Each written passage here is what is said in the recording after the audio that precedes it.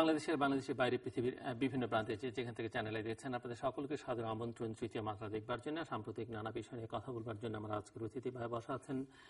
বাংলাদেশ আওয়ামী লীগ দলীয় সংসদ সদস্য এবং বাংলাদেশ সুপ্রিম কোর্ট বার অ্যাসোসিয়েশনের প্রাক্তন সম্পাদক অ্যাডভোকেট মোহাম্মদ নুরুল ইসলাম সুজন।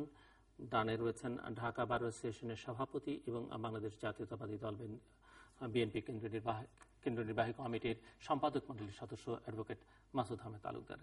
স্বাগত আপনার দুজনকে স্টুডিওতে। মিস্টার নুরুল ইসলাম সুজন, আপনাকে দিয়ে শুরু করি যে সম্প্রতি উইকলিক্সের কিছু তথ্য আবার প্রকাশিত এবং যেখানে দেখা যাচ্ছে যে, প্রাক্তন সৌদি রাষ্ট্রদূত তার বার্তায় বলছেন যে বাংলাদেশ, আওয়ামী লীগ বাংলাদেশে একদলীয় রাজনীতি প্রতিষ্ঠা করবার একটা প্রয়াস চালিয়ে যাচ্ছে। এবং এই অভিযোগটি আপনার উল্টো দিকে যারা বসে আছেন, তাদের দিক থেকেও আছে এবং আরও কেউ তুলবার চেষ্টা করেন। সো আপনি এর জবাবে কি বলবেন? এবং আপনি আপনি দেখেছেন দু একদিনের পত্রপত্রিকা এই বিষয় নিয়ে অনেক লেখালেখি হচ্ছে। আসলে আওয়ামী লীগের যে, দীর্ঘদিনের যে রাজনৈতিক ঐতিহ্য, সেটাতে সবসময় আমরা দেখেছি যে জনগণকে নির্ভর করেই আওয়ামী লীগ রাজনীতি করেছে এবং জনসমর্থন নিয়েই আওয়ামী লীগ দলটি গড়ে উঠেছে। এবং দীর্ঘ রাজনৈতিক যে, আপনি যদি তার পিছনের দিকে তাকান, মানুষের অধিকারের প্রশ্নে আওয়ামী লীগ কিন্তু মানুষের সঙ্গে সম্পৃক্ত হয়েছে।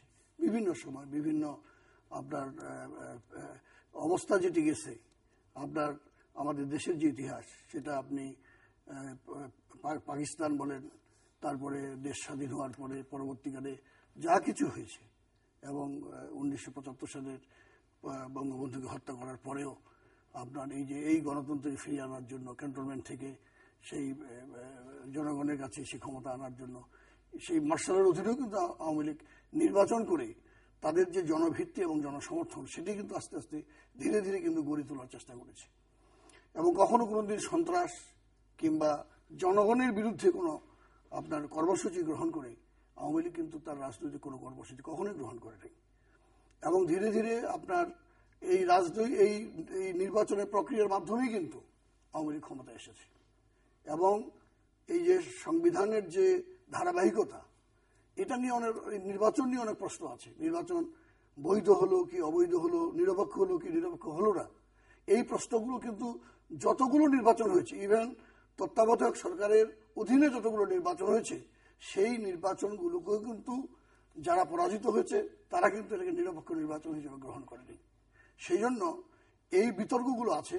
এর মধ্য দিয়েও আওয়ামী লীগ যেটা চেষ্টা করেছে, সেটা হলো মূল যে ভিত্তিটি, সেটা হলো যে জনগণের যে অধিকার, জনগণের যে ক্ষমতায়ন যেমন জনগণের যে ভোটের, জনগণের সমর্থন নিয়ে যে সরকার পরিচালিত হবে, এই যে একটা নীতিগত অবস্থান এবং সংবিধানের যে যে নির্দেশিত পথে ক্ষমতার পরিবর্তন, জনগণের ভোটের মাধ্যমে ক্ষমতার পরিবর্তন হবে, এটিকেই মূলত আওয়ামী লীগের রাজনীতির ভিত্তি।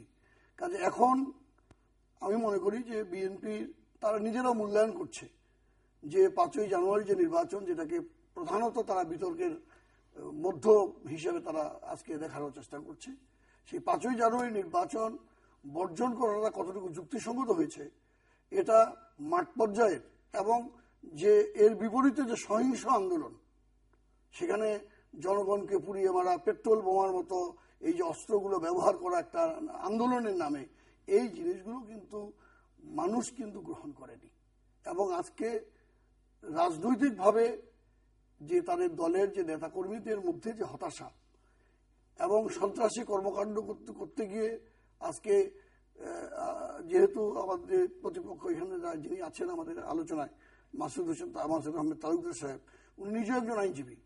কাজে আইন যদি এবং প্যানেল কোর্টের কেউ যদি কোনো আপনার অপরাধ করে থাকে, অপরাধ হলে সেটা তার নিজস্ব মামলা মোকদ্দমা যেটা হওয়ার অপরাধের জন্য যেটা আপনার যে মামলাগুলো হওয়ার সেইভাবে বিভিন্ন তারা মামলা হয়েছে। কারণ তখন তারা মনে করেছে যে আন্দোলনের মধ্য দিয়ে যদি সরকার আমরা পরিবর্তন করতে পারি তাহলে এই মামলা মোকদ্দমা এগুলো আর তাদের কোনো কোনোভাবে তাদেরকে টাচ করতে পারে এই অভিযোগটা আপনি কোনোভাবে মানতে নারাজ যে আপনার যে কথাটি হচ্ছে যে একদলীয় যে এইটা আমার মনে হয় যে যেটা আপনি উল্লেখ করেছেন যে পত্রিকা কিংবা বাইরে এটার সঙ্গে কিন্তু বাস্তবতার কোনো মিল নেই। এবং আওয়ামী লীগ সেই ধরনের কোনো রাজনীতি করছেও না করেও না এবং সেটা চিন্তাও করে না। অ্যাডভোকেট মাসুদ আহমেদ আপনাকে ধন্যবাদ। বিসমুল্লাহ রহমান রহিম। সম্মানিত শ্রোতা এবং দর্শক মন্ডলী আসসালামু আলাইকুম। আমি আপনাকে আবারও ধন্যবাদ জানাচ্ছি এত চমৎকার এবং সময় উপযোগী একটি প্রশ্ন আপনি করেছেন। আপনি বরাদ দিয়েছেন যে সৌদি বাদশার একটি বার্তা সম্পর্কে। সৌদি রাষ্ট্রদূত যিনি বাংলাদেশে ছিলেন যিনি রাষ্ট্রদূত যিনি বাংলাদেশে ছিলেন তিনি একটি বার্তা পাঠিয়েছেন। যেটি উইকিলিক্সে প্রকাশিত হয়েছে। এবং যেটা ইতিপূর্বে নানা পত্র পত্রিকায় প্রকাশিত হয়েছে। বিষয়টা আসলে বাস্তবতা এখানেই। পাঁচই জানুয়ারির নির্বাচন কোনো গণতান্ত্রিক নির্বাচন হয়নি। এটা দেশ এবং দেশের বাইরের সকলের কাছেই একই রকম গ্রহণযোগ্য। আপনারা একটা জিনিস লক্ষ্য করবেন যে আমাদের কাছে যে পরিসংখ্যান আছে, তাতে সাধারণত আমরা চিন্তা করি পপুলার ইলেকশন যেগুলো হয়েছে সেগুলোর উপরে বেসিস করে যে জরিপ আমরা দেখেছি, তাতে লক্ষ্য করেছি যে দেশে সাধারণত বাংলাদেশ আওয়ামী লীগের সমর্থকের সংখ্যা চৌত্রিশ পার্সেন্ট কিন্তু আপনি, আমি সর্বশেষ নির্বাচনের কথা বলি এবং তার পরবর্তী সিটি কর্পোরেশনের নির্বাচনের কথা বলি, যে চৌত্রিশ পার্সেন্ট যদি একটি দলীয় সমর্থন থাকে বাংলাদেশে আর সেই নির্বাচনে ভোটের বা ভোট ভোটারদের অংশগ্রহণ যদি লেস দেন টেন পার্সেন্ট হয় তাহলে আমাদের কাছে কি মনে হয়? মনে হয় এটা যে আওয়ামী লীগ যারা করেন এবং যারা গণতন্ত্রে বিশ্বাস করেন এই দলের তারাও এই অগণতান্ত্রিক পদ্ধতিতে নিজেদের ভোটাধিকার প্রয়োগ করেননি। সুতরাং আপনারা যাই বলেন না কেন সৌদি বাদশাহ কিন্তু টেন পার্সেন্ট আপনি বলছেন ওনার কি বলছেন যে টেন পার্সেন্ট না, আমরা নির্বাচন- ইলেকশন কমিশন কি বলছে আমি সেই কথাটাই বলতে চাচ্ছিলাম যে আমরা দশ পার্সেন্ট এবং লেস দ্যান টেন পার্সেন্ট এই কারণে বলি, কারণ ভোটারদের উপস্থিতি, আমরা উপস্থিত থেকে এবং যা ঘটেছে তা তো আমাদের দৃষ্টির বাইরে হয়নি। সুতরাং সৌদি রাষ্ট্রদূত বলেন এবং আপনি দেখবেন আমেরিকান স্টেট ডিপার্টমেন্টের বরাতেও একটি খবর দিয়ে একদিন আগে পত্রিকায় বের হয়েছে। চোদ্দই জানুয়ারির, পাঁচই জানুয়ারির নির্বাচন দুই হাজার কেউ গ্রহণ করতে পারেনি। তো এই যে অর্থাৎ আমি যে কথাটা বলছিলাম যে গণতান্ত্রিক চর্চা এবং আওয়ামী লীগের যে দীর্ঘদিনের গণতান্ত্রিক ঐতিহ্যে যারা বিশ্বাসী, তারা অগণতান্ত্রিক পদ্মায় পদ্ধতিতে আওয়ামী লীগ সরকার নির্বাচিত হয়ে দেশের জনগণকে সেবা করুক বা রাষ্ট্রীয় ক্ষমতায় অধিষ্ঠিত হোক, এটা তারাও চায় না। এখন আপনারা বলছেন, ইনি আমার প্রতিপক্ষের জনাব নুর ইসলাম সুদন সাহেব বলেছেন, খুব চমৎকার করেই বলেছেন যে আওয়ামী লীগ জনগণ থেকে কখনো বিচ্ছিন্ন হয়নি। কিন্তু দুর্ভাগ্যজনক হলে এই যে কথার আওয়ামী লীগ আর কাজের আওয়ামী লীগের মধ্যে আমরা যথেষ্ট ফারাক দেখছি। এটা নিশ্চিত যে আওয়ামী লীগের দীর্ঘদিনের ঐতিহ্য আছে, এতে কোনো ভুল নাই। কিন্তু আওয়ামী লীগ তার সেই গণতান্ত্রিক ঐতিহ্য থেকে দিনে দিনে অনেক দূরে সরে যাচ্ছেন। কারণ জনগণ ভোট দিবে এদেশের এই প্রধানমন্ত্রীর মালিককে জনগণ। জনগণের অধিকার জনগণ একটি রাজনৈতিক দলের উপর ন্যস্ত করবে। এবং জনগণের অধিকারে ক্ষমতা প্রাপ্ত হয়ে একটি রাজনৈতিক দল সরকার গঠন করবে। যে দেশের সরকার আজ রাষ্ট্র পরিচালনা করছে, সেই সরকার যখন জনগণের দ্বারা নির্বাচিত না হয়, তখন আর যাই হোক না কেন, ওই সরকারকে জনগণের সরকার কীভাবে বলবেন? আর আপনি মুখে যতই জনগণের ঐতিহ্য, জনগণের কল্যাণের কথা বলেন, জনগণ তো আপনাকে অধিকার দেয় না জনগণের কল্যাণের কথা ভাবার জন্য এবং জনগণের কল্যাণের সপক্ষে কাজ করার জন্য। কারণ জনগণের কথা বলার অধিকার আপনি তখনই অর্জন করবেন, যখন আপনি জনগণের দ্বারা নির্বাচিত হবেন। এই সরকার যে গণ, আজকে দেশে আছে, তিনি কোন ক্রমে এই সরকার জনগণের দ্বারা নির্বাচিত সরকার বলে দাবি করার কোনো আইনগত ভিত্তি নেই। এবং আপনার আরেকটা জিনিস একটু লক্ষ্য করেন। পাঁচই জানুয়ারির নির্বাচনের পর এই সরকার নতুন এক দর্শন আবিষ্কার করে ফেলছে, যেটা ইদানিং বাজারে আপনারা প্রায় লক্ষ্য করবেন। সরকার বলে থাকে, দেশে আর গণতন্ত্র না থাকলেও চলবে। শুধু উন্নয়ন থাকলেই চলবে। আমি এক্ষেত্রে ছোট্ট একটি ঘটনা আপনাকে বলি। আমি একটু রসিকতা করে এই কথাটা এইভাবে বলতে চাচ্ছি যে এক ভদ্রলোক, এক ভদ্র মহিলাকে এনে ঘরে রাখলেন। তার প্রতি বছর বছর সেই মহিলার সন্তান জন্ম দিচ্ছে। ইতিমধ্যে আট দশটা সন্তান হয়ে গেছে। কেউ যদি জিজ্ঞেস করে যে, ভাই, এই মহিলার সাথে আপনার সম্পর্ক কি? কেউ কি বলতে পারবেন ওই লোক কি বলতে পারবেন? যিনি তার বিবাহিত বা বৈধ স্ত্রী। আজকে এই সরকারের অবস্থা আর ওই ভদ্রলোকের কাছে ঘরে থাকা মহিলার মানে আইন বহির্ভূতভাবে ঘরে রাখার মতো এবং সন্তান পয়দা করার মতো, আমার কাছে এই দুইটার মধ্যে কোনো ফারাক রাখা না। কারণ একটা legitimate government might be supported by the will of the people জনগণ যাকে ভোট দেন যেমন আপনি বৈধভাবে, বৈধতা লাগবে আপনাকে প্রথম।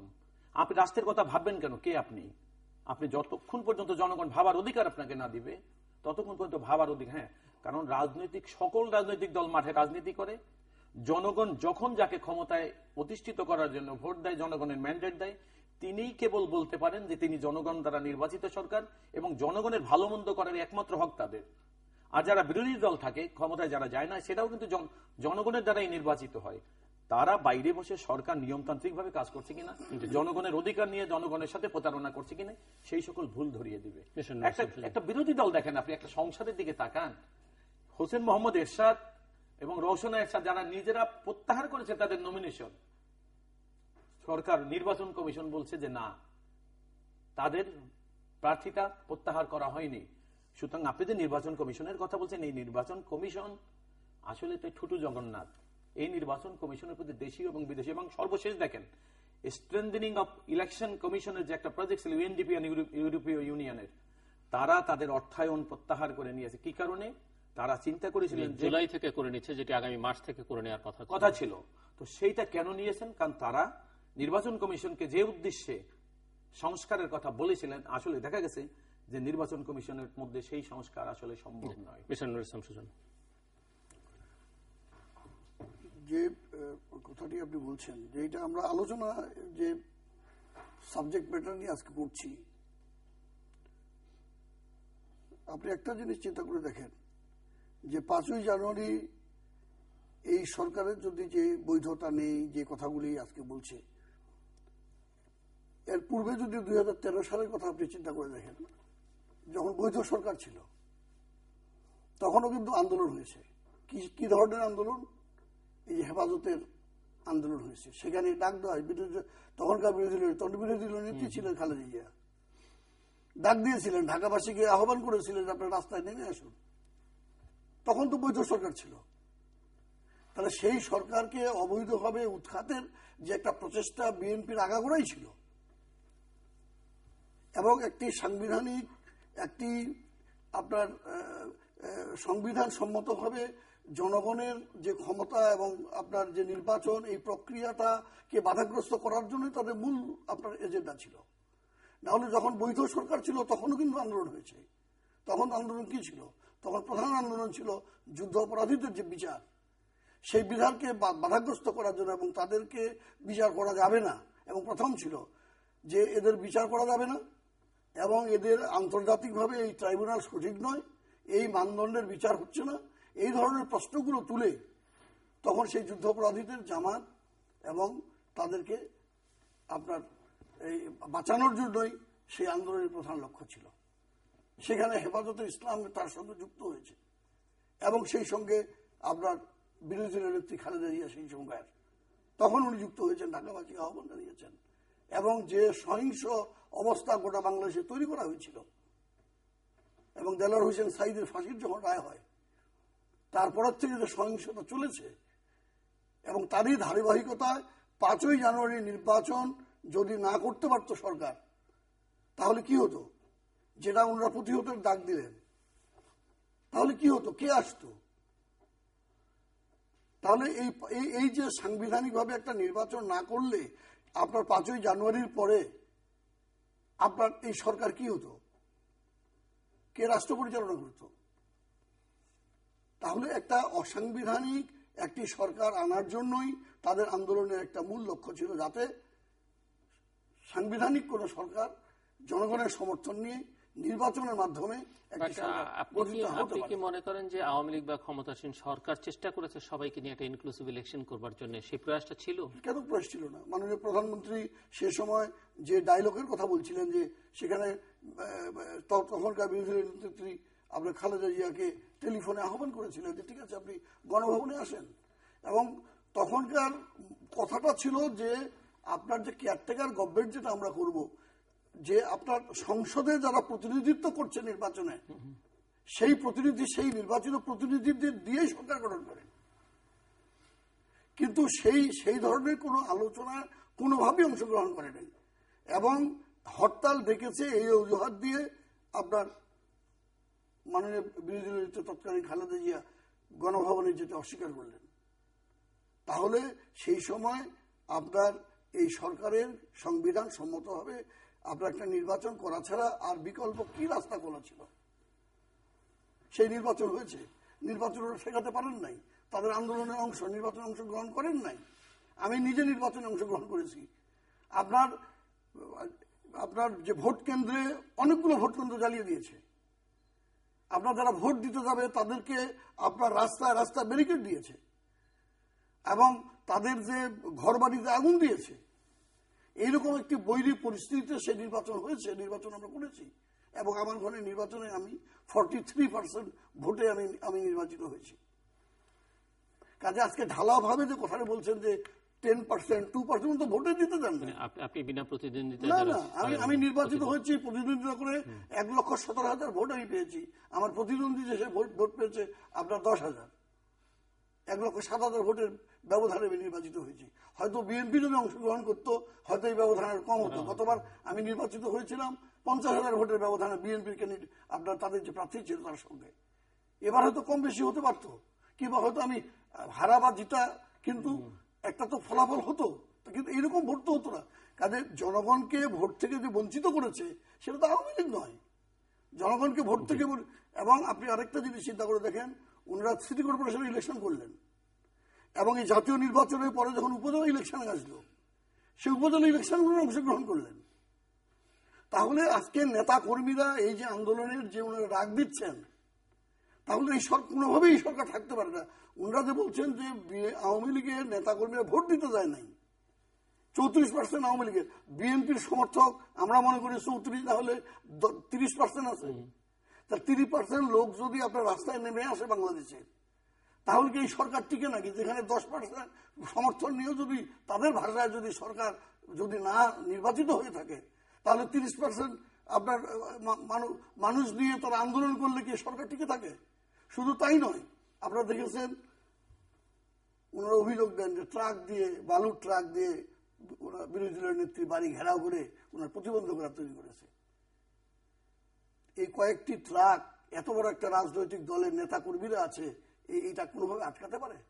সো তাহলে কি আপনাদের অভিযোগ, পাল্টা অভিযোগ এটি দাঁড়াচ্ছে যে মানুষ আসলে রাজনৈতিক নেতৃত্বের প্রতি কোনো আস্থা রাখতে পারছে না? যদি আপনার কথাও ঠিক বলে ধরে নিই, ওনার কথাও ঠিক বলে ধরে নিই, এবং বাস্তবতা হচ্ছে যে ভোট দিক আর না দিক, ক্ষমতায় তো ওনারা আছেন, এক বছরের বেশি সময় পার করলেন, এবং আপনি যেমনটা বলছেন যে ওনারা একটা প্রচারণা চালাবার চেষ্টা করছেন যে উন্নয়ন হলেই হবে। তার মানে কিছু উন্নয়ন তো দেখাবার চেষ্টা তারা করছেন। তো সব বিলিয়ে দেশটা আসলে তারা কেমন চালাচ্ছেন সেটি এখন নিশ্চয়ই জনগণ বিচার করতে চাইবে। একইভাবে আপনারা আসলে কি করছেন? কেবল কি এটি কথামালার মধ্যে নিজেদেরকে সীমাবদ্ধ রাখছেন কিনা বা রাখতে পারছেন কিনা? এর বাইরে উনি যেমনটা বলছেন যে আপনাদের সমর্থন থাকলে মানুষ কোথায় রাস্তায়? আমি ওই জনগণ রাস্তায় কেন নেমে আসে না? আর নেমে আসে যখন তখন বলে তারা সন্ত্রাসী। আপনি আমি আর সুজন ভাই, আমরা মোটামুটি সমসাময়িক বয়সের মানুষ। দেশের স্বাধীনতা যুদ্ধ দেখেছি। কিন্তু একটা স্বাধীন দেশে তার নিজস্ব আইন শৃঙ্খলা রক্ষাকারী বাহিনী, তার দেশের মানুষের প্রতিপক্ষ হয়ে কোন রকম যুক্তি সামান্য তোয়াক্কা না করে ওই হানাদার বাহিনীর মতো গুলি করে তার দেশের মানুষকে যখন হত্যা করে সেই পরিবেশে একজন মানুষ কীভাবে দাঁড়ায়, এটার বিচার বিবেচনার ভার আমি আপনার মাধ্যমে দেশের সাধারণ মানুষের কাছেই ছেড়ে দিলাম। দেখুন, আমাদের কথা বলা হয়েছে, সন্ত্রাস করেছি আমরা। জ্বালা উপরের হেফাজতের যে আন্দোলন, হেফাজত খুব আইনসম্মতভাবে সেদিন সমাবেশ করেছিলেন। সেটাকে অসহিষ্ণু এবং যে সকল নাশকতামূলক কার্যক্রম করেছে, সেটা নিয়ে যথেষ্ট বিতর্ক এবং সেক্ষেত্রে আইন শৃঙ্খলা রক্ষাকারী বাহিনীর কি ভূমিকা বা সম্পৃক্ততা ছিল, সেটা নানা মাধ্যমে আমরা ইতিমধ্যেই জেনেছি। খালেদা জিয়ার হেফাজতকে যে আহ্বান জানিয়েছিলেন হেফাজতের পক্ষে দাঁড়ানোর জন্য, যে তাদের শান্তিপূর্ণ আন্দোলনে, গণতান্ত্রিক আন্দোলনে আপনারা যারা আছেন স্থানীয়, আপনারা শান্তিপূর্ণভাবে তাদের সহযোগিতার জন্য এগিয়ে আসুন। শান্তিপূর্ণ শব্দ খালেদা জিয়া ব্যবহার করেছেন। কিন্তু ওনারা হয় কি, ভালো ভালো শব্দ যেগুলো আছে, সেগুলোকে ওনারা ইচ্ছে করে বাদ দিয়ে কথা বলেন। অর্থাৎ সেদিনের খালেদা জিয়ার আহ্বান কোন রকম অশান্তির পক্ষে ছিল না আমি শেষ করে দিচ্ছি। আমি শুধু আপনার কাছে একটা জিনিস যেটা বলতে চাচ্ছি সুজন ভাই বলেছেন বেগম খালেদা জিয়াকে দুই হাজার চোদ্দোর পাঁচই জানুয়ারির নির্বাচনের। আমরা সবসময় বলেছি আমাদের স্ট্যান্ড এটাই যে সরকারের অধীনে কোনো গ্রহণযোগ্য জাতীয় নির্বাচন হতে পারে না। স্থানীয় সরকার বহুবার আমরা নির্বাচন করেছি এবং সর্বশেষ গত স্থানীয় সরকার নির্বাচনে আমাদেরকে দেখিয়ে দিয়েছে যে এই সরকারের অধীনে স্থানীয় সরকার নির্বাচন হওয়াও সম্ভব না। আসলে যে কথা দিয়ে আমি শুরু করেছিলাম, যে আমাদের ডেভেলপমেন্ট পার্টনাররা যারা রিফর্মের জন্য ইলেকশন কমিশনে প্রচুর টাকা বিনিয়োগ করেছিলেন, তারা যখন হতাশ হয়ে চলে যাচ্ছেন, তার অর্থ এই যে এই দেশের নির্বাচিত বা গণতান্ত্রিক বা রাজনৈতিক সরকারের অধীনে নির্বাচন কমিশনের রিফর্ম করা তাদের পক্ষে সম্ভব না। অর্থাৎ নির্বাচন কমিশনের সর্বশেষ বিশ্বস্ততা যেটা শূন্যেরও নিচে নেমে গেছে। যে কারণে তারা হতাশ হয়ে ফেরত যাচ্ছে এবং তাদের যে বিনিয়োগ ছিল সেটা তারা প্রত্যাহার করে নিচ্ছে। বিষয়টা হলো একটা নির্বাচন কারা করেছে? আমি আপনাকে একটা শেষ কথা বলে এইভাবে শেষ করে দিই এই- এপিসোডে সেটা হলো এইরকম। রাজনীতিবিদ এবং আমলাদের মধ্যে একটা দ্বন্দ্ব চিরকাল ছিল। আমলারা সবসময় মনে করেন যে রাজনীতিবিদরা অপেক্ষাকৃত মূর্খ লোক। যোগ্যতা তাদের কম। কিন্তু যখনই রাজনৈতিক সরকার ক্ষমতায় আসে, কিন্তু তাদের একটা তোয়াজ করার চরিত্র থাকার কারণে তারা প্রকাশ্যে রাজনীতিবিদের অযোগ্যতাকে তখন আর পয়েন্ট করে না, বা ইঙ্গিত করে না, বা ইশারা করে না। এই এতদিন পরে এই সুদন ভাইয়ের ভাষায় ঐতিহ্যবাহী রাজনীতিবিদ, আওয়ামী লীগের যে ঐতিহ্য, সেটা আজ আর নেই। আমি জানি না, সুদন ভাই এখানে হয়তো বিতর্কের জন্য একরকম কথা বলবে, কিন্তু বাস্তবতায় উনি আমার সাথে অন্তত ভিতরে হলেও একমত হবেন যে আজকে যারা দেশ চালাচ্ছে, তারা কারা? আজকে কি রাজনৈতিক দল রাজনৈতিক সরকার চালাচ্ছে? চালাচ্ছে না। তো সে কারণে অর্থাৎ রাজনীতিবিদরা আজকে আমলাদের কাছে পরাস্ত হয়ে গেছে। রাজনীতিবিদ এই যে আপনি বলছিলেন যে দুই দলের রাজনীতিবিদের হ্যাঁ এটা দুঃখজনক যে রাজনীতিবিদদের প্রতি সাধারণ মানুষের যে আস্থা থাকার কথা ছিল থাকা উচিত। সেটা আজকে অবস্থায় পৌঁছে গেছে। আমি কয়েকদিন পূর্বে আপনার সুপ্রিম কোর্টে প্রধান বিচারপতি এজলাস, সেখানে মির্জা ফখরুল ইসলাম আলমগীরের জামিনের বিষয়টা শুনানি হচ্ছিল। সেখানে মাননীয় প্রধান বিচারপতি সহ অন্যান্য বিচারপতিরা প্রশ্ন করছিলেন, প্রধান যিনি আইনজীবী মদুদ আহমেদ এবং খন্দকার মাহবুব হোসেন সাহেব, যে বর্তমান যে আইন আছে, এই আইন অনুযায়ী আজকে যেমন কোনো কর্মসূচি আপনার বিএনপির পক্ষ থেকে নেই, জামাতের পক্ষ থেকে কোনো কর্মসূচি নেই। আজকে কিন্তু আমরা কোনো সহিংসতা দেখছি না। কোনো পেট্রোল বোমা, কোনো গাড়ি পুরানো, ভাঙচুর, এই, এইগুলো কিন্তু দেখা যাচ্ছে না। কিন্তু যদি একটা রাজনৈতিক যে কর্মসূচিটা উনি বলছেন আমি শান্তিপূর্ণ কর্মসূচি আমরা সবসময় দিচ্ছি, কিন্তু রাজনৈতিক এবং আমরা আমরা আমরা আইনের ভাষা উনি নিজেও জানেন সেটা যে একটি শান্তিপূর্ণ যখন একটা মিছিল হয়, এই শান্তিপূর্ণ মিছিল করার আপনার সবসময় অধিকার আছে। কিন্তু এই শান্তিপূর্ণ মিছিলটাই কোনো এক পর্যায়ে কি যদি সহিংসতা লাভ করে, তাহলে কিন্তু এইটা কিন্তু আপনার আইনের আওতায় চলে আসবে। আনলফুল অ্যাসেম্বলি হয়ে যাবে। এই শান্তিপূর্ণ মিছিল ইসলেই আপনার অবৈধ একটা সমাবেশ হয়ে যাবে। অ্যাসেম্বলি হবে যদি সেটা সহিংসতা লাভ করে। ঠিক ওনাদের যে কর্মসূচি এই কর্মসূচির ফলে তাদের নেতাকর্মীরা যদি আজকে গাড়ি ঘোড়া পুরায় পেট্রোল বোমা মারে পুলিশকে মানে সাধারণ মানুষের উপর আক্রমণ করে এই আক্রমণের দায় দায়িত্বটা যারা রাজনৈতিক কর্মসূচিগুলো দিচ্ছে তারা কিন্তু এড়াতে পারেন না। এবং আইন সেভাবে বলছে। এবং প্রধান বিচারপতি সহ অন্যান্য মাননীয় বিচারপতির দৃষ্টি আকর্ষণ করছিলেন হ্যাঁ, ফখরুল আলমগীর স্পটে থেকে উনি কোনো সহিংসতা অংশগ্রহণ করেননি। কিন্তু উনি যে রাজনৈতিক কর্মসূচি দেওয়ার মধ্য দিয়ে উনি যে আজকে পাঁচজন পুলিশ আজকে নিহত হলো, কিংবা পাঁচ, দশটা গাড়ি আজকে জ্বালিয়ে দেওয়া হলো, দশজন পেট্রোল বোমায় যারা আজকে আপনার বার্ন ইউনিটে আজকে যারা কাতরাচ্ছে, এই যে সহিংস যারা ক্ষতির শিকার হলো, এর দায় দায়িত্ব কি ফখরুল ইসলাম আলমগীর সাহেব এড়াতে পারবেন? এই দায় দায়িত্ব কি আপনার যারা কর্মসূচি দিয়েছে, ম্যাডাম খালেদা জিয়া সহ রাজ যাদের তারা দিয়েছে, তারা কি এড়াতে পারবেন? আইনের চোখে। এবং তারা আইনের চোখে যদি এইটা এড়াতে না পারেন, তাহলে আইন তো তার নিজস্ব ব্যাখ্যা দেবে। আইন তার এটার জবাব কিন্তু খন্দকার মাহবুব হোসেন সাহেব, কিন্তু মধুর সাহেব কেউ দিতে পারেন নাই। উনি বইটা এগিয়ে দিয়ে আইনের সেই ব্যাখ্যা চেয়েছিলেন প্রধান বিচারপতি। দেখেন, আইনটা পড়ে দেখেন। কাজেই যে মাসুদ আলম তালুকের সাহেব, উনি নিজে একজন অত্যন্ত আপনার গুণী অ্যাডভোকেট উনি অনেক দেশের অনেক নাম করা মামলার উনি আইনজীবী, উনি বিষয়টা উনি নিজেও বুঝেন। কিন্তু আজকে সেই কারণে আজকে প্রধান যে বিষয়টা হচ্ছে আন্দোলন, আমরা আন্দোলন করেছি। আপনার পনেরোই ফেব্রুয়ারি ছিয়ানব্বই সালে ইলেকশন করেছিল। এক মাসের বেশি কিন্তু সরকার কিন্তু থাকতে পারে নাই, আরেকটা নির্বাচন দিতে বাধ্য হয়েছে। কাজে নির্বাচনের পিছনে যদি সরকার, জনগণের সমর্থন না থাকতো, তাহলে আওয়ামী লীগ সরকার কখনোই আজকে যেটা বলছেন যে তিন মাসের যে ধারাবাহিক যে আন্দোলনে যে ডাক দিয়েছিলেন, বিরোধী নেত্রী যে আপনার জনগণের সমর্থনহীন একটি সরকার ভোটবিহীন একটি সরকার আজকে নির্বাচন আজকে ক্ষমতায় বসে আছে কখনই থাকতে পারত না।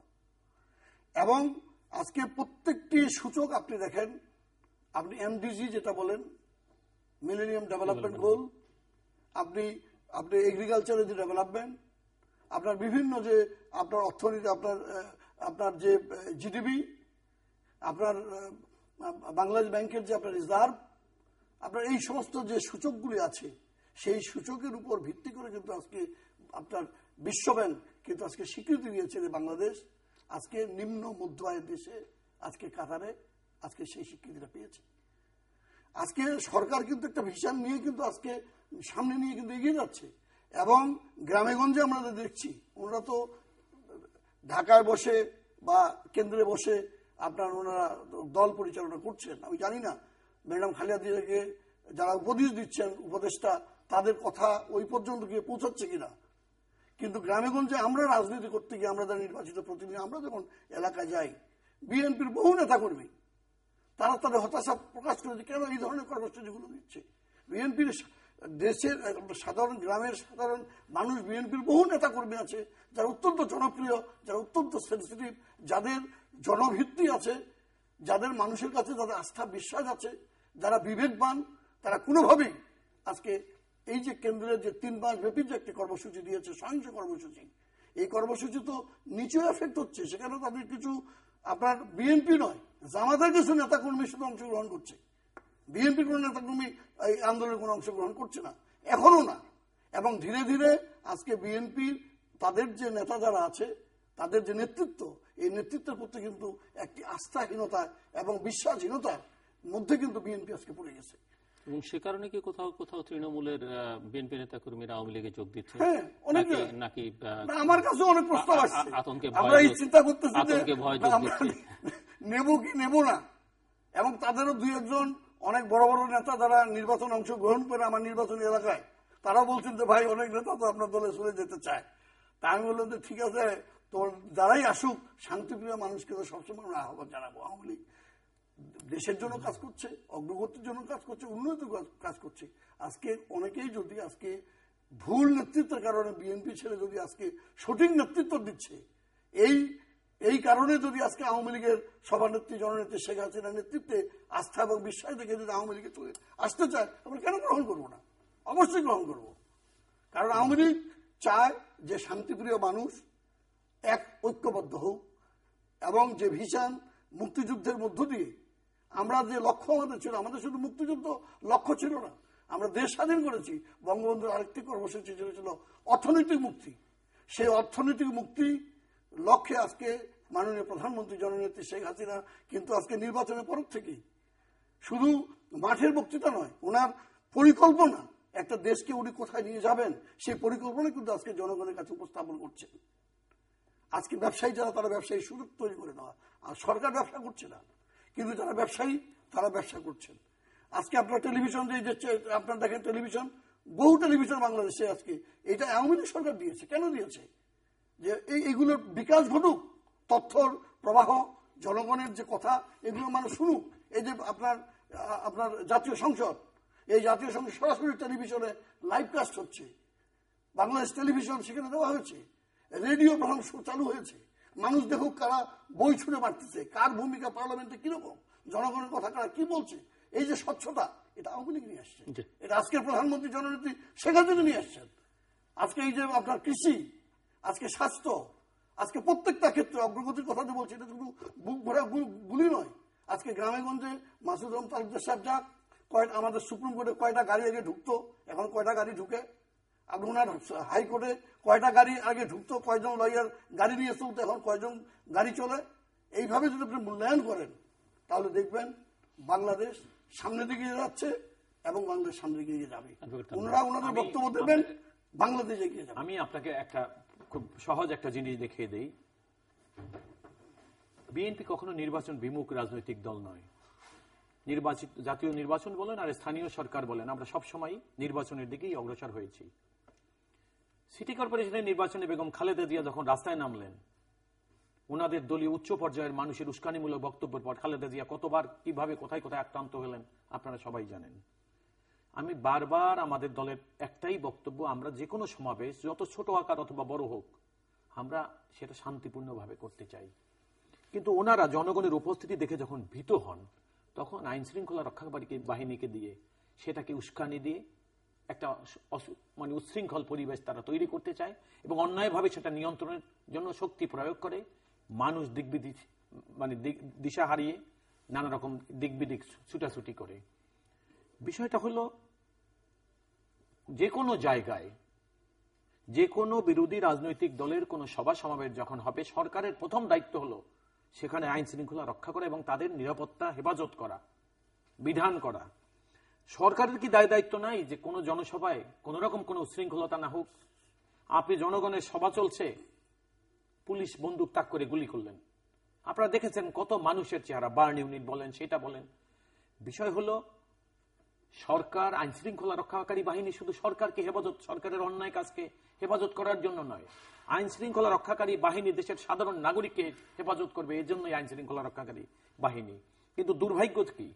আমরা যেটা দেখি আজকে আইন শৃঙ্খলা রক্ষাকারী বাহিনী আজকে সরকারকে এবং তারা তো বলেও বেড়ায় বক্তৃতাও দিয়ে বেড়ায় যে এই সরকারকে নির্বাচন করা এবং ক্ষমতা আনা আমরা করেছি। সুতরাং জনগণ আগে ভোট দিয়ে সরকার বানাতো এখন আইন শৃঙ্খলা রক্ষাকারী বাহিনী আমলা নির্বাচন কমিশন তারা নির্বাচনে ভোট দিয়ে জনগণকে। সুদন ভাই বলেছেন উনি তেতাল্লিশ পার্সেন্ট ভোট পেয়েছে। অত্যন্ত পরিতাপের বিষয়। এই এই যে আমলা আমলা বারবার আপনি উচ্চারণ করছেন আমলা নির্ভর রাজনীতির বাইরে তো বিএনপিও যেতে পারছে না, না। আমরা আমরা দেখছি যে না না আমি আপনাকে আমি আপনাকে সেটা উত্তর দিচ্ছি। দেখুন আমলা বিএনপিতে বিএনপির রাজনীতিবিদদের জায়গা নো? নো আমাদের বক্তব্য হলো দেশের সকল নাগরিকের রাজনীতি করার অধিকার আছে। একজন ব্যুরোক্রেট তার সার্ভিস থেকে যখন চলে আসেন তিনি রিটায়ারমেন্টের পরে কিন্তু এখন সাধারণ নাগরিক হয়ে যান। আমি আমলা বলতে যেটা বুঝিয়েছি I am not talking I am not concern about the retired officials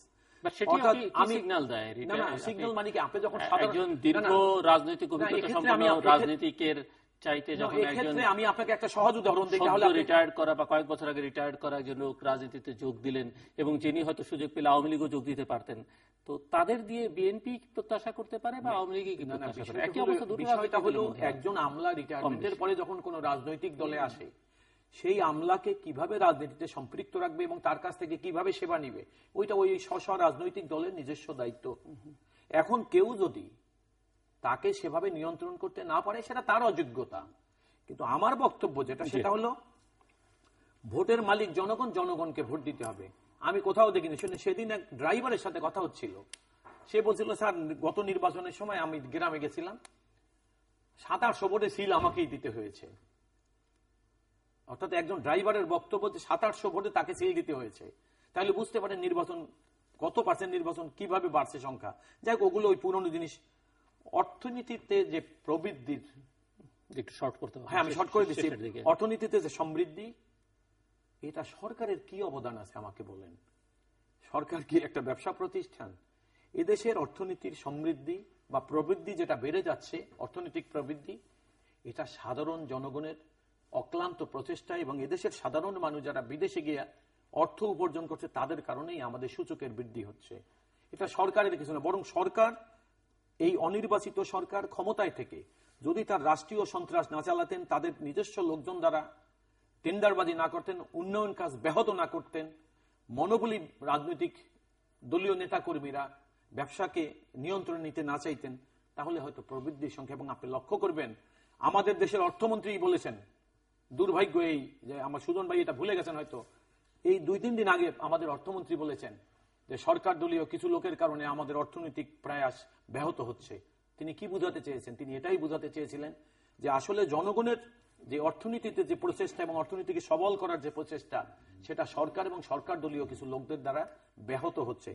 সুতরাং এদেশের অর্থনীতির যে উন্নতি বা অর্থনীতির যে তেজ ভাব এটা জনগণের প্রচেষ্টা সরকারের প্রচেষ্টা এবং এখানে এটা আরও চমৎকার হতে পারত যদি দেশের রাষ্ট্রীয় ক্ষমতায় নির্বাচিত সরকার থাকতো তো যাই হোক আমি যে কথাটা শেষ করে এই এই পর্যায়ে আমি এইভাবে বলতে চাচ্ছি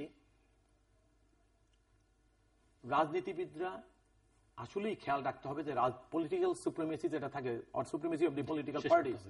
এটা যদি রাজনীতিবিদরা সজাগ না হয় শুধু যেন তেন কারণে যদি রাজনীতিবিদরা মনে করে ক্ষমতাকে দখল করে রাখতে হবে আমার মনে হচ্ছে এটা যুক্তিসঙ্গত হচ্ছে না। ক্ষমতা জনগণের এবং জনগণের অধিকার নিয়েই ক্ষমতায় বসতে হবে। সুতরাং যিনি যত ভালো কথাই বলেন উন্নতির কথা বলেন অথবা গণতন্ত্রের কথা বলে এটার কোনোদিনই কোনো বৈধতা লাভ করবে না যতক্ষণ পর্যন্ত এর পিছনে জনগণের বা জনসাধারণের অনুমোদন না থাকবে। মিস্টার নুরুল ইসলাম সুজন আমরা শেষের দিকে খুব সংক্ষেপে। আপনার একটা সরকার মানুষের কাছে কিছু ভিশন নিয়ে একটা লক্ষ্য নিয়ে আপনার রাষ্ট্র ক্ষমতায় আসে। তার কর্মসূচি বাস্তবায়নের জন্য। আমরা সারা জীবন সেটা দেখেছি যে একটা রাজনৈতিক দল, তার কিছু কর্মসূচি থাকে। সেখানে রাজ, আপনার আপনার রাজনৈতিক, অর্থনৈতিক, সাংস্কৃতিক, সামাজিক, এই যে বিভিন্ন কর্মসূচিগুলো থাকে, সেই কর্মসূচিগুলো তারা ক্ষমতায় আসবে তারা সেটা বাস্তবায়ন করবে। এটাই হলো একটা রাজনৈতিক সরকারের, সেটাই হলো কাজ। আজকে যখন আপনি, আমরা বলছি যে আজকে বিজ্ঞান এবং প্রযুক্তি এই যে তথ্য প্রযুক্তি আজকে ডিজিটাল বাংলাদেশের কথা আমরা বলছি যে স্লোগানটা দিয়েছি তার সঙ্গে সামঞ্জস্য রেখে কিন্তু আজকে সেই বিষয়গুলোকে কিন্তু আজকে সরকার সেইভাবে কিন্তু আজকে তার বাজেট বলেন তার যেমন মোবাইল ফোন একসময় একানব্বই সালে সিটি সেল মাত্র একটি মোবাইল ফোন ছিল তার মালিক ছিল তৎকালীন পররাষ্ট্রমন্ত্রী আপনার ইয়ে বিএনপির আপনার চিটামগের কি নাম? হ্যাঁ। মোর্শেদ খান। খান। হ্যাঁ উনি উনি উনি এটার মালিক। এবং তখন কিন্তু এই কয়েকটা মোবাইল ফোনে ছিল। ছিয়ানব্বই সালে আওয়ামী লীগ ক্ষমতা আসার পরে কিন্তু বারোটা মোবাইল ফোন কোম্পানিকে কিন্তু এই মোবাইল ফোনের আপনার লাইসেন্স দিয়েছে। আপনি ছিয়ানব্বই সালের আগে একটি টেলি আপনার বেসরকারি কোনো টেলিভিশন ছিল না। ছিয়ানব্বই সালের পরে আসে কিন্তু বেসরকারি টেলিভিশনে প্রথম পারমিশন দেওয়া হয়েছে সেটা আওয়ামী লীগ সরকারের সময়। এবং আওয়ামী লীগ সরকার আপনার এই যে বিদ্যুতের কথা বলছে, বিদ্যুতের যে ঘাটতি ছিল, যেটা আজকে প্রধান অর্থনৈতিক চালিকা শক্তি বিদ্যুৎ ছাড়া কোনোভাবেই সম্ভব নয়। কি ধরনের লোডশেডিং ছিল? আজকে আপনি এই এই এই এই এই কারণগুলোকে কোনোভাবে আপনি আপনি ইয়ে করবেন? সরকার আইন পরিবর্তন করে বহু অভিযোগ ছিল, স্বল্পমেয়াদী, মধ্যমেয়াদী এবং দীর্ঘমেয়াদী পরিকল্পনা নিয়ে। এই যে বিদ্যুৎ উৎপাদনের জন্য যে প্রোগ্রামগুলো নিয়েছে, এবং এখানে শুধু নয়, আগামী একচল্লিশ সাল পর্যন্ত, পঁচিশ সাল পর্যন্ত আপনার কি কি বিদ্যুৎ কেন্দ্র করবে কত আমার চাহিদা সেই পরিকল্পনা আপনার নিয়ে যাচ্ছে। আন্তর্জাতিকভাবে আপনি দেখেন ভারতের সঙ্গে যে আপনার যে ইয়ে ছিল সেখানে যখন আপনার পার্বত্য চক্রম চুক্তি চুক্তি হয় ছিয়ানব্বই সালে এই বিএনপি সেটি মানে খালেদ বিরোধী খালেদা জিয়া বলছিল যে ফেনী পর্যন্ত এটা আপনার ইয়ে ভাড়া হয়ে যাবে। শেষ করতে হবে না এই এই কথাগুলো বলছি গঙ্গার পানি চুক্তি আওয়ামী লীগ করেছে। এই যে বর্ডার চুক্তি যেটা কয়েকদিন পূর্বে হলো যেটা সে চুয়াত্তর সালের ইন্দিরা মুজিব চুক্তি সেটা বাস্তবায়ন দিয়েছে কিন্তু আওয়ামী লীগ সরকারের সময় হয়েছে। অথচ কথা ছিল যে মোদী সরকার আজকে বিজেপি সরকার যদি ভারতে আসে তাহলে এইখানের অবস্থার পরিবর্তন হবে রাজনৈতিকভাবে। কিন্তু জনগণের সঙ্গে জনগণের যে সম্পর্ক আজকে সে আস্থা এবং বিশ্বাসটি আওয়ামী লীগ সরকার দিতে পেরেছে আজকে ভারতকে যে প্রতিবেশী চেঞ্জ করা যায় না এবং প্রতিবেশীর সঙ্গে একটি ভালো সম্পর্ক আস্থা এবং বিশ্বাস এবং যে কারণে এই যে যারা এই বাংলাদেশের মাটিকে যারা ভারতের বিরুদ্ধে একসময় বিভিন্ন অবৈধ এবং এই যে নাশকতার কাজে ব্যবহৃত হতো সেটা এই সরকার যুক্তিসঙ্গত ভাবে এবং সাফল্যজনক ভাবে সেটা বন্ধ করেছে। ধন্যবাদ। কাজে এই সাফল্যগুলো। মাধ্যমে আমরা মনে করি আমি মনে করি আমি একটা যে মিনিট একটু উত্তর দেব। দেশের যে অগ্রগতি এটা এগিয়ে যাচ্ছে এবং সামনের দিকে আরও দেখুন শান্তি সময় চুক্তি নেই শান্তি চুক্তি বলেন ভারতের রাজনীতি বলেন এই যে আমাদের যে বর্ডার চুক্তি যেটা হলেন মোদী সাহেব আসলেন এটা এই কারণেই হয়েছে। এই প্রথম ভারতের সাথে জনগণের সাথে জনগণের সম্পর্ক উন্নয়নের একটা প্রয়াস চলছে। আগে ছিল আওয়ামী লীগের সাথে কংগ্রেসের সম্পর্ক। ধন্যবাদ। আমি আপনাকে যে কথাটা বলছি আমি একদম শেষ করে দিচ্ছি। নেই, আমার হাতে আমি একদম শেষ করে দিচ্ছি সেটা হলো এই যে সরকার এদেশের আপনি যাই হন না কেন যে সরকারি হন আপনাকে মনে রাখতে হবে যত চমৎকারিত্বই আপনি দেখাতে চান কিনা আপনাকে সর্বপ্রথম খেয়াল রাখতে হবে আপনার এই চমৎকারিত্বের পিছনে জনগণের অনুমোদন আছে কিনা। অনির্বাচিত সরকার যতই চটুল চটুল কথা বলুক না দর্শক, আমরা অনুষ্ঠানের শেষে জনগণের অনুমোদন আপনি লিখতে পারেন ডাকে ইমেলে এসএমএস এর মাধ্যমে ইন্টারনেট আমাদের না। ওয়েবসাইট অথবা সোশ্যাল মিডিয়াতে যেসব পেজ রয়েছে সেসব পেজে আপনারা আপনাদের মতামত রাখতে পারেন আর আপনারা আপনাদের মতামত আমাদের অনুষ্ঠান আপনি দেখতে পাবেন। প্রতি বৃহস্পতিবার এবং শুক্রবার বাংলাদেশ আমার দুটোই বুধবার দুপুর সাড়ে এগারোটা এবং শুক্রবার দুপুর একটা পাঁচ মিনিটে দেখবার আমন্ত্রণ রইল। অ্যাডভোকেট মাসুদ আহমেদ তালুকদার এবং অ্যাডভোকেট ইসলাম সুজন, অসংখ্য ধন্যবাদ আপনার দুজনকে। দর্শক মন্ডলী দুজন আইনজীবী, দুজন রাজনীতি কথা বলছিলেন এবং ঘুরে ফিরে একটি কথা অভিযোগ, পাল্টা অভিযোগগুলো যদি আমরা বিবেচনায় নিই, তাহলে এটি বুঝতে হবে যে রাজনীতি শূন্য হয়ে যাচ্ছে ক্রমশ দেশ, এবং রাজনীতির সঙ্গে জনসম্পৃক্ততা খুব একটা বেশি নেই। কাজে রাজনীতিকে আরও বেশি জনসম্পৃক্ত করতে হবে, রাজনৈতিক দলগুলোকে আরও বেশি জনসম্পৃক্ত হতে হবে, এবং রাজনৈতিক নেতাদের জনগণের উপরে অনেক বেশি আস্থা রাখতে হবে, যে আস্থাটা তারা জনগণের খানিকটা অংশ আমলাদের উপরে রাখেন কিংবা বিশেষ বিশেষ প্রতিষ্ঠানের উপরে রাখেন বা কখনো দেশের সীমানা পেরিয়ে অন্য দেশের উপর রাখেন। এবং এই আস্থাটা যতক্ষণ পর্যন্ত জনগণের উপরে না রাখতে পারবেন এবং আমরা লক্ষ্য করছি যে উভয় পক্ষে কম বেশি এক পক্ষ অভিযোগ তুলছেন যে তাদের প্রতি জনসমর্থন নেই। আবার তিনি অভিযোগ করছেন, পাল্টা যে জনসমর্থন থাকলে বিরোধী দলের সঙ্গে মানুষ কোথায়, রাস্তায় মানুষ নামছে না। কাজেই আমরা আশা করব যে জনগণের উপর আস্থা যদি আমাদের রাজনৈতিক নেতৃত্ব রাখতে পারেন এবং জনগণ নির্ভর রাজনীতি করেন, সেটি দেশের জন্য, গণতন্ত্রের জন্য কল্যাণকর হবে এবং শেষ পর্যন্ত তাদের নিজেদের জন্য কল্যাণকর হবে। না হলে এই অবস্থা আসলে খুব বেশি দিন চলতে পারবে না এবং খুব একটা সুখকর কারোর জন্য শেষ পর্যন্ত হবে না। দর্শক, আমাদের সঙ্গে থাকবার জন্য অসংখ্য ধন্যবাদ। আপনাদের সবার জন্য শুভকামনা।